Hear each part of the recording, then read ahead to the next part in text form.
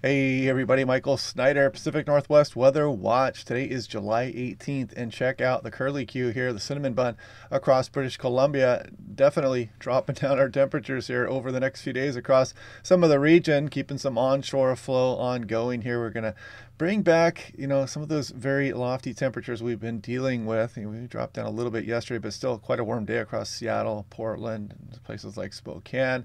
And we've got some fire weather coming up here also, and I'm going to take a look at that in some detail. We'll take a look at the extended forecast as we go through the video this morning, as always. And starting things off here right now. So check this out as the sun rises. I'm going to toggle back and forth. What do you see coming into the Puget Sound through the Chehalis Gap there across the Kitsap Peninsula and towards Seattle? As we speak right now, you see that marine there still pushing in this morning and maybe just starting to burn back for some areas. But you can see pretty well entrenched here across the I-5 corridor between Olympia and down towards you know, Kelso, and Toledo and whatnot. And the Washington, Oregon coast is pretty well socked in. You can see that marine there pushed way into some of the valley areas as well. But you can see some getting some decent sunshine there across places like Portland, Salem, all the way down towards Eugene. But there uh, is some fire smoke out there. We're going to take a look at that here in a moment as well.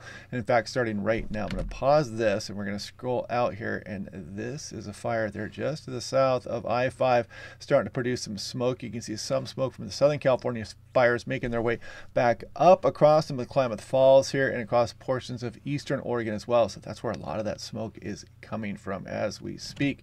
So taking a look here, there's the Bear Gulch fire. You may have seen some of this if you're across some of the Puget Sound. You look you have a view of the Olympic Mountains. You can probably see some of that. I can see it the last couple nights there. Again, the Bear Gulch fire continues to burn. If I click on that, you can see uh, what is it? Uh, does it have any kind of acreage? 327 acres, not too big, but you definitely can see the smoke out there. And if we look a bit further south, the Board Shanty fire is what this one is.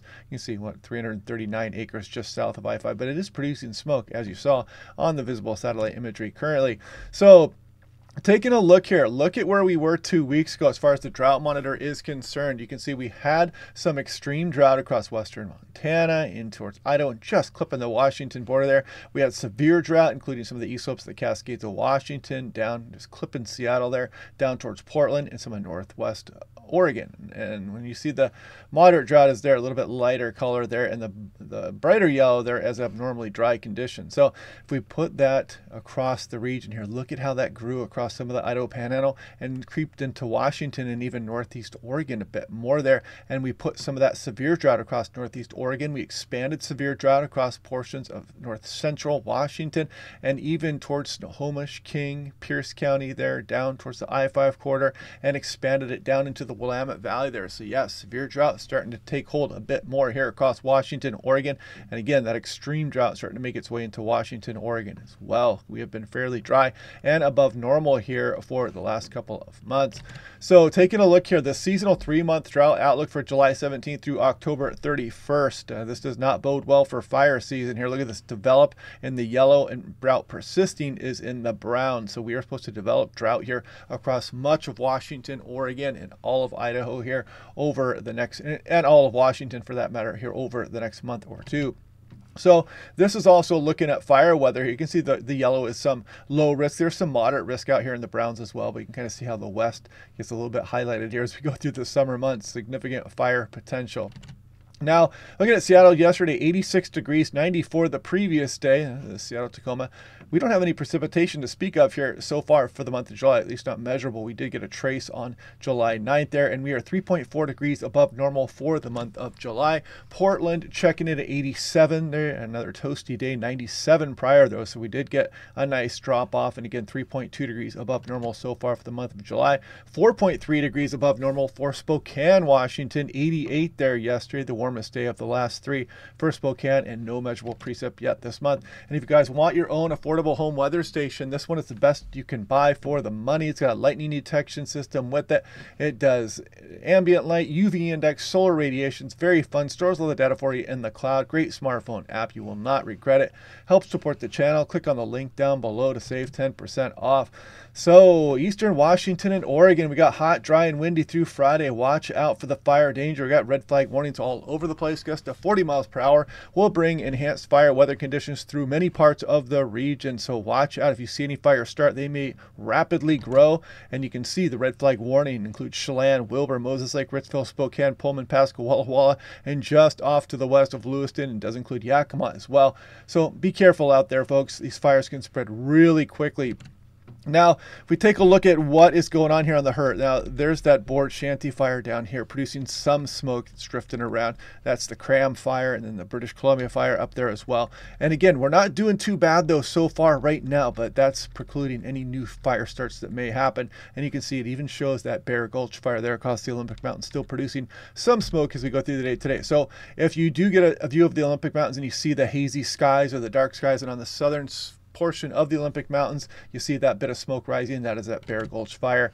So let's back this up here. This is the European last night's run. We're looking at 500 millibars, 18,000 feet up in the atmosphere. It does a great job of telling you where the ridges and the troughs are. And if we scroll through here, you'll notice we're kind of under the influence of this trough. It's going to be cooling us down for a few days. The ridge really gets amplified out across the Gulf of Alaska, way north of the Hawaiian Islands, troughing, keeping the onshore flow going. High to low, the weather likes to flow, and you can see that kind of staying with us as we go through the early portion of next week with this upper level low. And this way might even kick off a little bit of precipitation here across the region. Fingers crossed. We are in our dry season here, folks. It is really hard to do so, but who knows? Maybe we'll get lucky with that. And you can see the ridge stay established as we go all the way on in towards next week. Let's see what is to come after that. You see that? Notice that ridge get pushed off to the west a little bit and this next trough coming. We'll check that out in the extended forecast.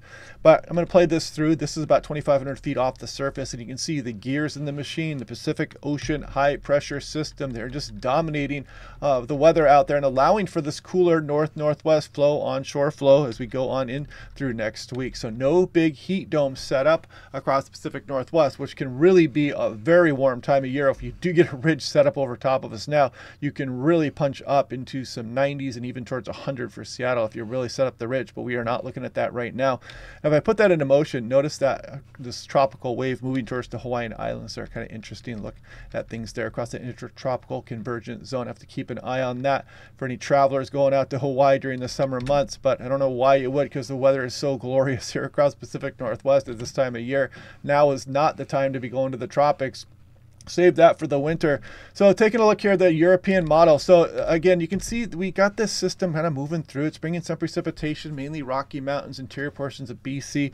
Might kick off a stray shower across northern Washington. We go on in through Saturday, Sunday, and then we go towards Monday. And this is where the precipitation maybe starts to kick off a little bit across western Washington, western Oregon, depending on the track of this next upper level low as we go on in through the day Monday. Look at that. That's not a bad precipitation maker there. So we'll watch that one Maybe we'll get a couple thunderstorms out of this as well as we go on into Monday afternoon. Then we go to Tuesday. That system continues to kick off, but could still be producing some showers across the Cascades. We'll watch that system closely. We're still a few days out from it, but we will be watching it here on a daily basis here, folks.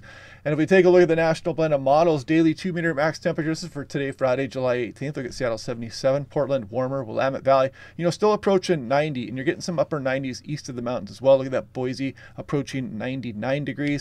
We go through Saturday, we bring the temperatures down a bit more. Look at Seattle, nice comfortable 75. We go to Sunday, Monday, Tuesday. We start to warm things back up next week. We'll see how that goes. But, you know, Wednesday showing 84 for Seattle, some 90s returning to Eastern Washington as well. As we get towards peak season here, July 29th is really peak summertime here for the Pacific Northwest. Now, uh, this is the European Ensemble mean. So I want to put this into motion. You can see the troughing and kind of still influence, going to be influencing our weather for the next few days. You can see it kind of hanging out there.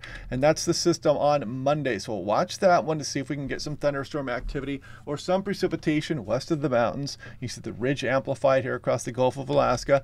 And if we put that into motion, you kind of see the influence of the trough still with us as we go through next weekend. Also, then that system starts to weaken and you see the ridge start to ever slow slightly here, start to creep back to the west there, starting to get established across maybe some of the southwest USA or central portions. We'll see how far that ridge starts to move back towards the Pacific Northwest. It is that time of year where we can definitely start to warm up. So you really got to watch these ridge and trough positions at this time of year.